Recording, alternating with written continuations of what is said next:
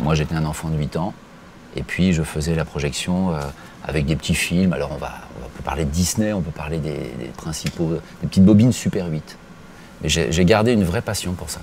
J'ai gardé une vraie passion pour le fait de faire plaisir. Là, je suis trop.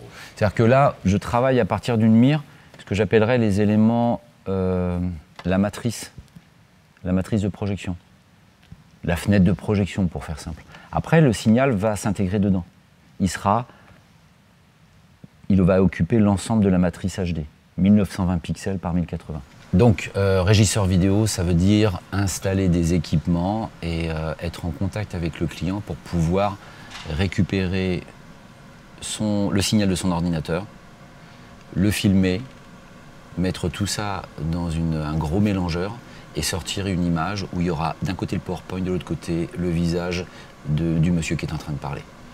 Mon travail à moi, c'est de mixer euh, les sources et d'emmener tout ça soit sur un vidéoprojecteur, soit directement sur un enregistreur et faire en sorte que cet événement dure et existe après l'événement.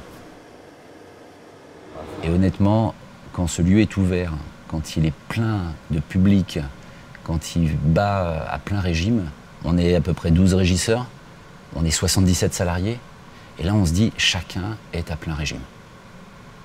Et c'est génial. C'est une belle histoire. 25 ans, c'est une belle histoire.